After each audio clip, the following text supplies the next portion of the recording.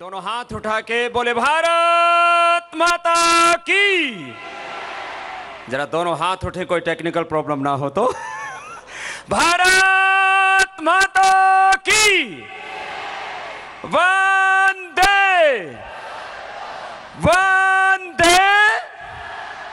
योगेश्वर भगवान श्री कृष्ण चंद्र जी की। आज गीता जयंती महोत्सव और ये हरियाणा की पावन धरा। काफ़ी वक्त हो गया, बहुत लंबे समय तक बच्चों का शांत होकर के बैठना जरा मुश्किल सा होता है, लेकिन मैं यहाँ के बच्चों के धैर्य, एकाग्रता और इतनी इस तपतपाती धूप में बैठे हुए आपकी इस अनुशासन और आपके इस पूरे महोत्सव की आपने जो गरिमा बनाई है, उसके लिए मैं आप स्वयं आपका अभिनंदन करता हूँ। आपको बहुत बहुत बधाई। है कि आप इतने अनुशासित, इतने उत्साही, इतने पराक्रमी बच्चे हैं कि आपको देख करके मुझे भी अपना बचपन याद आया। एक अनपढ़ माँ बाप के घर, सरकारी स्कूल में, फिर आगे शिक्षा दीक्षा भी गुरुकुल में पढ़ा।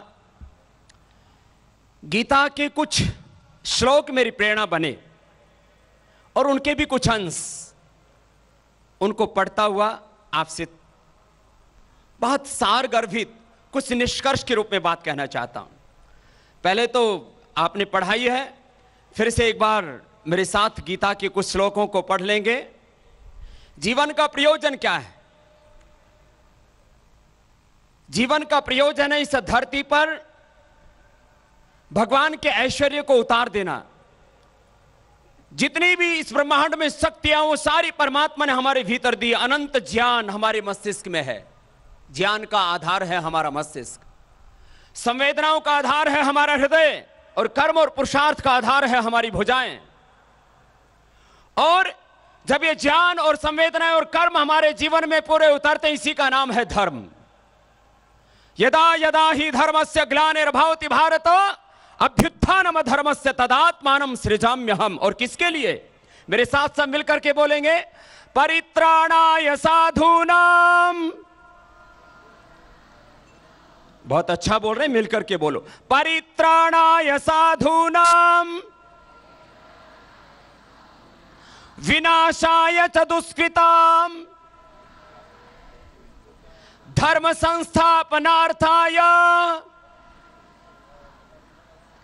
संभवामी युगे युगे। ये भगवान कृष्ण के ही जन्म का प्रयोजन नहीं, हमारे भी जन्म का प्रयोजन है कि हम जहाँ पैदा हुए हैं, हम उसका तो गौरव बढ़ाएँ ही। हम इस धरती पर पैदा होकर के धरती माता, भारत माता, गीता माता, वेद माता, अपने पूर्वजों का गौरव बढ़ाएँ, ऐसी शक्ति, ऐसा सामर्थ्य परमात्मा ने हम सबको दिया है। और उसका एक ही आधार है, कर्म करो। मेरे साथ मिलकर के बोलिए, योगस्था कुरु कर्माणि योग कर्मसु कौशलम। योग का अर्थ ही है, गीता का अर्थ ही है, सब शास्त्रों का सार यही है, कर्म करो, पुरुषार्थ करो। ये जितने भी मंच पर महानुभाव बैठे हैं, हमारी श्रद्धामयी विदुषी बहन सुषमा जी ने यदि पूरे विश्व में भारतीय धर्म दर्शन, अध्यात्म, संस्कृति का और भारत माता का गौरव बढ़ाया है तो कर्म और पुरुषार्थ की प्रतिमूर्ति अभिनंदन है एक बार उनका। ये हरियाणा की बेटी है। ये हरियाणा का गौरव है, भारत माता का गौरव है। कर्म करके इन्होंने पूरे विश्व में भारत का यश और गौरव बढ़ाया। हमारे गीता मनीषी जी, जो इस पूरे अनुष्ठान के प्रेरणा स्रोत हैं, वो हमारे ये जीय पुरुष हैं। और खट्टर साहब ने उनकी प्रेरणा को साकार रूप दिया। इसके लिए एक बार हरियाणा सरकार का और खट्टर साहब का भी बहुत बहुत अभिनंदन है इस गीता जयंती महोत्सव के लिए। और उसके प्रेरणा पुरुष हमारे श्रद्धे गीता मनीषी जी। यहाँ हमारे श्रद्धे पूज्य चिदानंद मुनि जी जो पिछले 40 वर्षों से यूएन से लेकर के पूरी दुनिया के लगभग डेढ़ सौ देशों में भारत का प्रतिनिधित्व करते हैं और उस भारत भारतीयता का गौरव बढ़ाते हैं तो पूज्य सुधांशु जी महाराज, जो हमारे गुरुकुलीय परंपरा के सहयात्री हैं, और अभी जिनको आप सुन रहे थे, उन्होंने क्वांटम फिजिक्स से लेकर के सारा ज्ञान, विज्ञान साइंस टेक्नोलॉजी इनोवेशन इन्वेंशन सब कुछ आपको बता दिया। एक बार उनका भी अभिनंदन कीजिए, फिर उनका कभी प्रवचन आपको और थोड़े बड़े होंगे तो और ज़्यादा समझ में आएगा। लेकिन बीज तो आपके भीतर उन्होंने डाल दिया।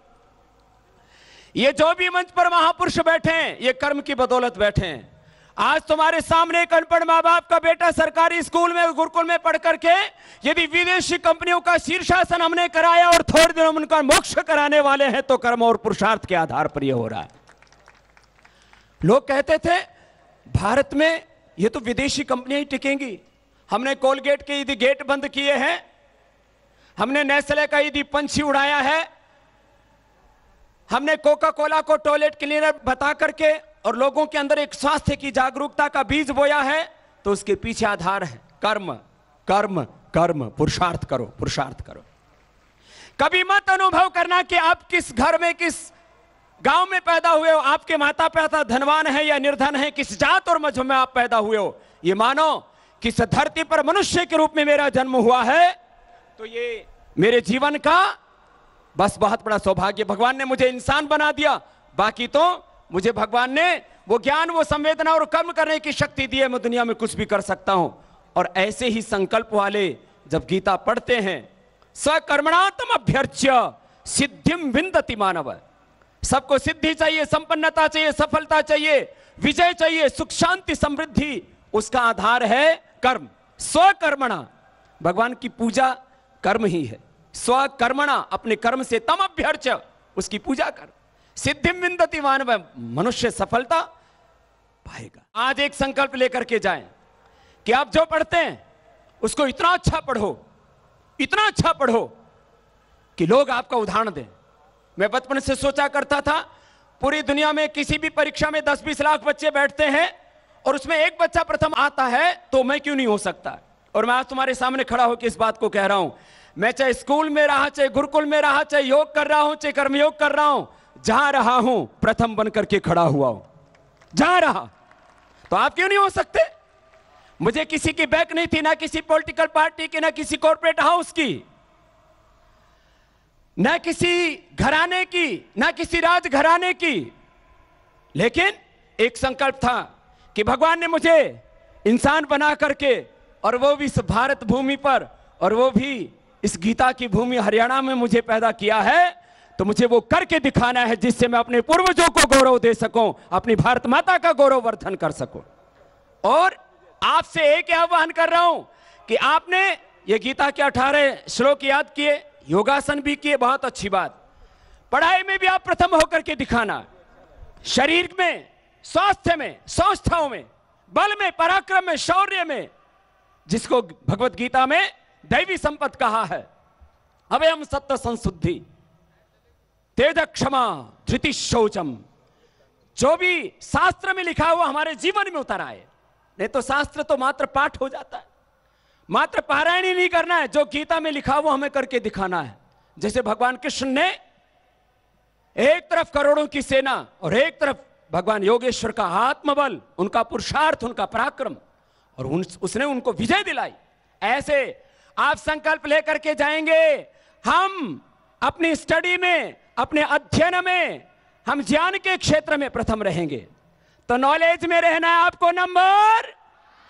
हेल्थ एंड फिटनेस में नंबर। डिसिप्लिन में भी नंबर। कैरेक्टर में भी नंबर। जब आप नंबर वन होंगे, जब आप महान होंगे तो हम कहते हैं ना, मेरा भारत। ज़ोर से बोलो, मेरा भारत। तो हमारी महानता से मेरा भारत महान होगा और वो कैपेबिलिटी वो कैपेसिटी वो भगवान ने सबको बराबर दिए, बिना किसी भेदभाव और पक्षपात के। कोई पक्षपात, कोई डिस्क्रिमिनेशन इसमें नहीं। न स्त्री का, न पुरुष का, न ब्राह्मण, क्षत्रिय, वैश्य, न शूद्र, दलित, आदिवासी वनवासी का। आप किसी भी कुलवंश जाति में पैदा हुए, आप जहाँ हैं, वहाँ प्रथम कोटि के व्यक्ति हो सकते हैं। अब यहाँ जाति पूछी जाती है, राजनीति में तो जाति का जहर बहुत गहरा घुल गया है। मेरे से भी लोग पूछते हैं बाबा जी और बात तो सा, सारी ठीक है। तो ये बता तेरी जात की है? मैंने कहा मानस है दिखता नहीं है।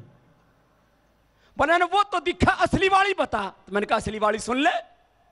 जो अज्ञान को दूर करे वो ब्राह्मण। जो अज्ञान को दूर करे वो क्या बोला बच्चों? जो अभाव को दूर करे वो वैश्य जो अन्याय को दूर करे, वो क्षत्रिय। तो मेरे साथ एक बार मिलकर के बोलेंगे, ये समझना हमें और यही वेद का ज्ञान है, ये गीता का ज्ञान है। जो अज्ञान को दूर करे, वो ब्राह्मण, जो अन्याय को दूर करे, वो क्षत्रिय, जो अभाव को दूर करे, वो वैश्य। और जो अपवित्रता को दूर कर समाज में पवित्रता को फैलाए, वो शूद्र। और हम फोर इन वन हैं सभी। क्या बोला हम फोर इन? ब्राह्मण से मुखमासित बहुराज अन्य कृत तदस्य व शपथ हम शूद्रो जाए तो अपने भीतर है। चार वेद हमारे भीतर है, चार वर्णाश्रम धर्म। हम में सारा ब्रह्मांड है, ये गीता का ज्ञान। है आपको आज संकल्प लेकर के जाना है, आप जहाँ रहेंगे, वहाँ रहेंगे, नंबर। और जब आप नंबर वन होंगे तो हरियाणा होगा, नंबर। और जब हरियाणा नंबर वन होगा तो भारत होगा, नंबर। बस यही तो करना है। और यही गीता महोत्सव मनाने का ध्येय है। बाकी ठीक है या गीता पाठ आपने किया, वो करना चाहिए। मैं भी गीता पाठ करता हूँ। मेरे झोले में हमेशा गीता रहती है। मैंने गीता और उपनिषद, इसको अपने जीवन का आधार बनाया है। हमेशा। और रोज मैं गीता के कम से कम एक दो अध्याय का पारायण करता हूँ। एक बार फिर से मेरे साथ बोलेंगे। योग कर्मसु कौशलम बोलो। एक्सीलेंस एक्सपर्टीज कुशलता। आम भाषा में बोलते हैं हुनर। अपने भीतर हुनर ऐसा पैदा करो जब तुम खड़े हो तो सारे जमाने की निगाहें तुम पर टिक जाएँ। ऐसा बनकर के दिखाओ कि जब जिधर से तुम चलो वो रास्ता बन जाए जहाँ तुम पहुंचो, वो मंजिल बन जाए, जो तुम करो वो इतिहास बन जाए। ऐसा आपको बन करके दिखाना है। इसलिए मैं एक भजन गाया करता हूँ। जमी सलाम करे, आसमा सलाम करे, करो वो काम की सारा जहाँ सलाम करे। मिटा दो जुल्म की आंधी की तुम फौलाद बनो, खाक में मिलकर भी कौम की औलाद बनो। तुम्हारे कारवा को नौजवान सलाम करे, करो वो काम की, सारा जहाँ सलाम करे। ऐसा आपको बन करके दिखाना है। यह आज मेरा आपके सबके लिए संदेश।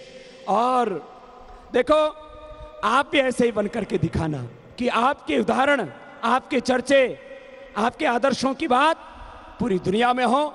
आप ऐसा करके दिखाएँगे, आप ऐसा बन करके दिखाएँगे। इस संदेश के साथ कि आज यहाँ पर आना आपको एक प्रेरणा दिवस बने, आपके लिए एक यादगार का दिन बने कि मैं अंतर्राष्ट्रीय गीता जयंती महोत्सव में कुरुक्षेत्र गया और वहाँ से मैंने प्रेरणा पाई कि मैं अपने जीवन में वो करके दिखाऊँगा जिससे अपने कुलवंश का, अपने इस हरियाणा की माटी का, अपनी इस भारत माता का गौरव मैं पूरी दुनिया में बढ़ाऊँगा। मैं एक बार पुनः आज के इस पावन दिवस पर जो इतनी सुंदर व्यवस्था की और बच्चों ने प्रथम तो बहुत सुंदर योगाभ्यास किया, उसके लिए एक बार जोरदार अभिनंदन आप सबका। कि आप योगी बने, कर्मयोगी बने, सहयोगी बने, जो अच्छे कार्य और उपयोगी बने राष्ट्र के लिए? बहुत अच्छा योग किया आपने। और आपने गीता के जो अठारह श्लोक भी सुनाए, वो भी सर्वश्रेष्ठ तरीके से सुनाए, उसके लिए दोबारा से अपना अभिनंदन कीजिए। और ऐसे ही, जैसे आज आपने सर्वश्रेष्ठ दो प्रस्तुतियाँ दी, ऐसे ही जीवन में आप सर्वश्रेष्ठ बनेंगे यह अपेक्षा रखता हुआ। और अगली बार जब हम आए, तब अठारह श्लोक ही नहीं। हमने, मैं मंच की जानकारी के लिए भी कहना चाहता हूँ, हमने तय किया कि कोई भी गीता स्मरण करेगा, अभी करीब सौ से ज़्यादा बच्चे तो हमारे पास हैं, जिनको 18 अध्याय पूरी गीता याद है और अगले साल तक करीब 500 हो जाएँगे। जो भी गीता कंठस्थ करेगा, कोई भी व्यक्ति, उसको पतंजलि योगपीठ की ओर से बीस हज़ार रुपए का हम इनाम देंगे। कोई भी कर ले, चाहे सौ करें, पाँच सौ करें, हज़ार करें तो आप में से भी कुछ बचे। जून, जुलाई में छुट्टी के दिनों में आप थोड़ा पुरुषार्थ करें तो मैंने देखा है बच्चे, एक से दो महीने में पूज्य महाराज जी गीता याद कर लेते हैं। और हमने याद कराया, दो दो महीने में अठारह अठारह अध्याय याद कर लेते हैं। तो जो भी गीता याद करेगा, उसको चाहे वो सौ हो, पाँच सौ हो, हज़ार हो, उनको पतंजलि योग पीठ की ओर से बीस हज़ार रुपए। अलग अलग शास्त्र, अष्टाध्यायी, प्रथमावृत्ति काशी का महाभाष्य, इनके ऊपर हमने तीस से लेकर के पचास हज़ार रुपए। वेदों पर भी पचास हज़ार से तीस हज़ार से लेकर के ऋग्वेद के लिए एक लाख, कुल वेदों के लिए दो लाख रुपए। अलग अलग शास्त्रों के लिए पच्चीस से पचास हज़ार रुपए। शास्त्रों को स्मरण कीजिए। और जो शास्त्रों में लिखा है, वैसा जीवन जी के दिखाइए। अपना गौरव बढ़ाइए। भारत माता का गौरव बढ़ाइए। आपको बहुत बहुत बधाई बहुत बहुत शुभकामना। बोले, भारत माता की